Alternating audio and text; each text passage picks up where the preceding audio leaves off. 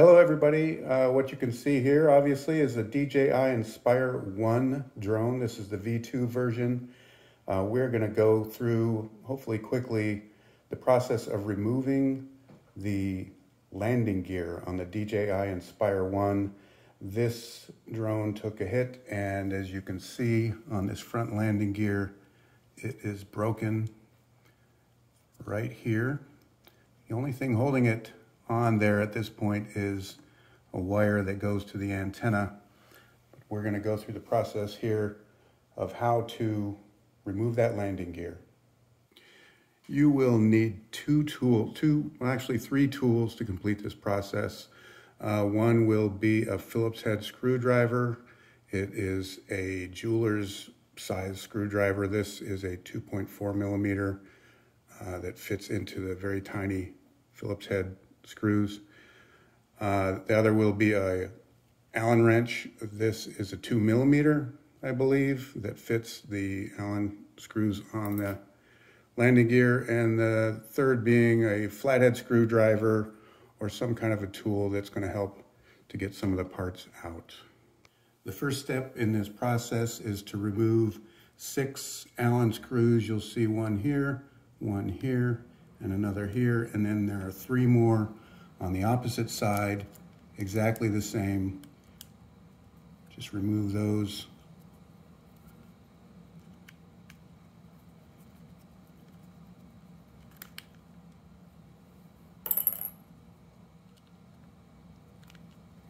I've already loosened these a bit.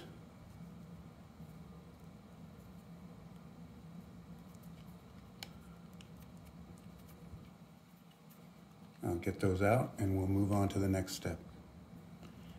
These screws hold the landing gear to the arm and they also hold the uh, motor in place on top of the arm.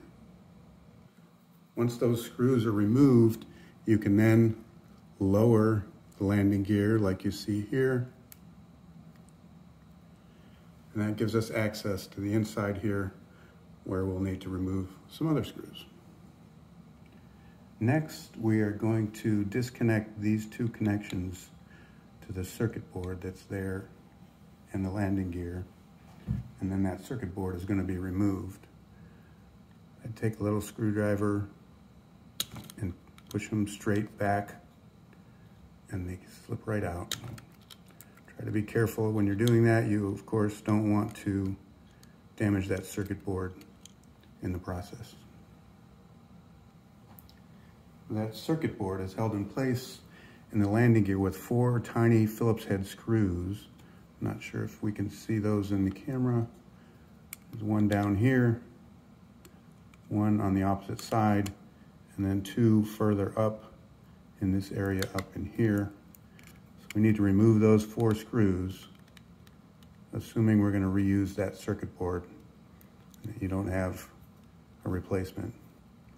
You're gonna want a Phillips I'm sorry, a uh, jeweler style Phillips head screwdriver to reach down in there. It's helpful if it's magnetic tipped to bring that screw up out of there. Which, there we go. Yep, I dropped it anyway.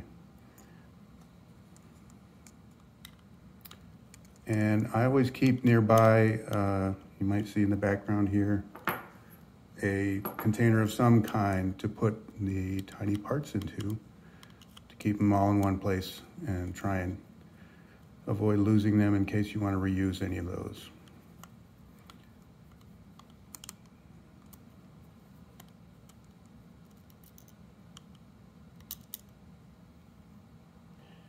Okay, I've got the four screws out. The circuit board is sitting in there loose.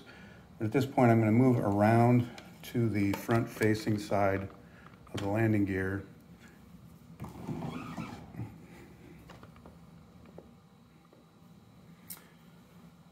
If your drone is still original as mine is, it has this sticker cover over the front. We're going to have to remove this to get to the antenna in the landing gear foot.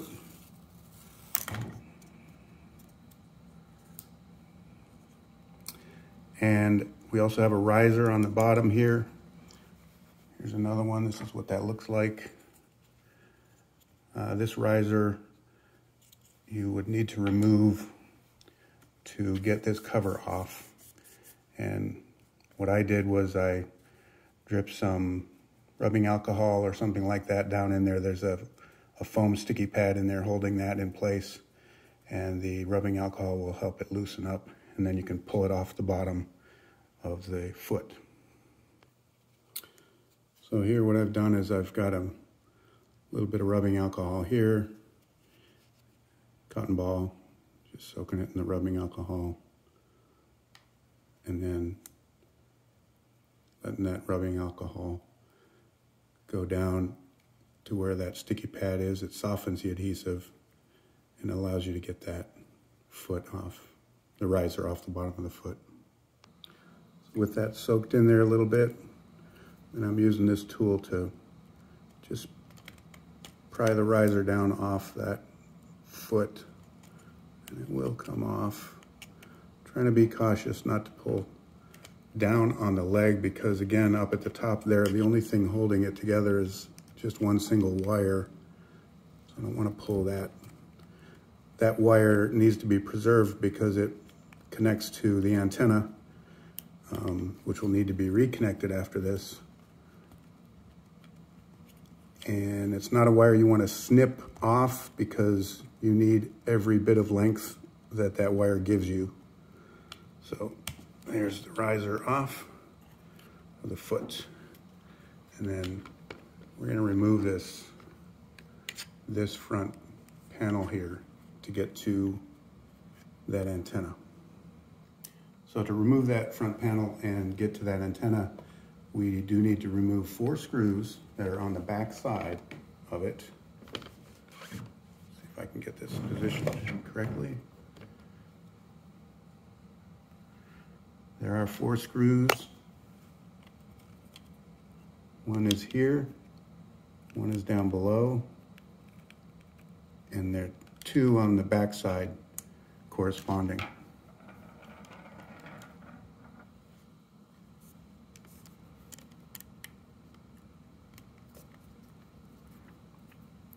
Same size screwdriver as before.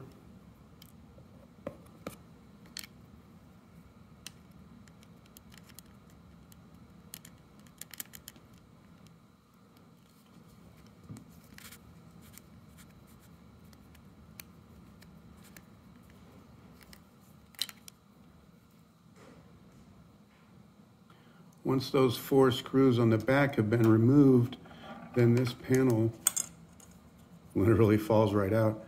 And this is the antenna inside. Now you can see here at the top that it's connected by a wire.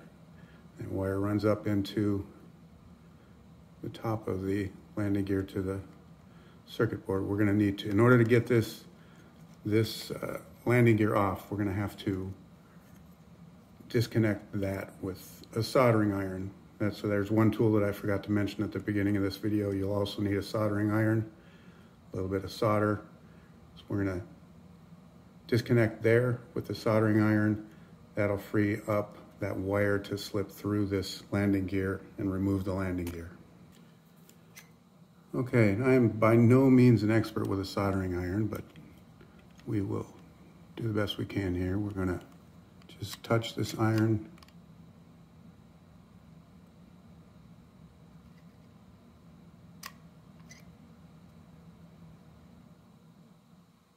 And warm it up.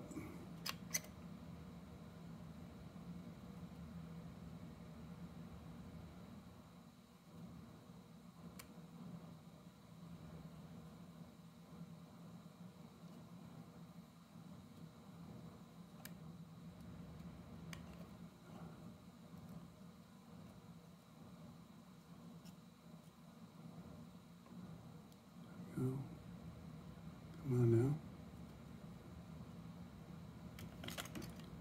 Here we go. So that antenna is now free. The wire is there, but now we can lower the gear. So to lower the gear, in order to lower the gear, we're going to carefully lift. I'm using a tool here to just carefully get under the edge and lift that circuit board up out of the foot of the landing gear.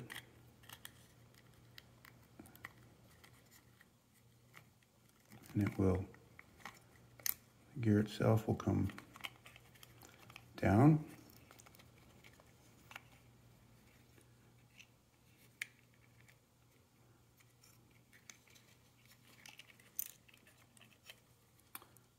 I gotta just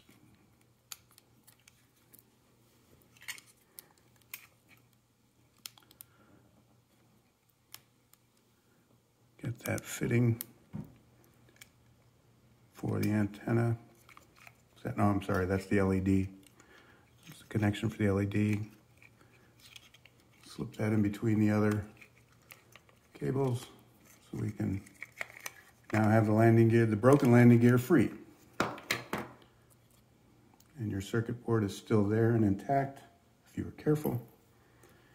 And we have the wire over here on the other side ready to replace with a new landing gear and a new antenna.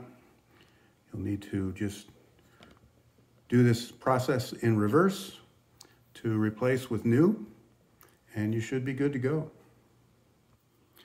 I also wanted to point out that with that connection between the wire and the antenna, there are two connections on that antenna to be concerned about.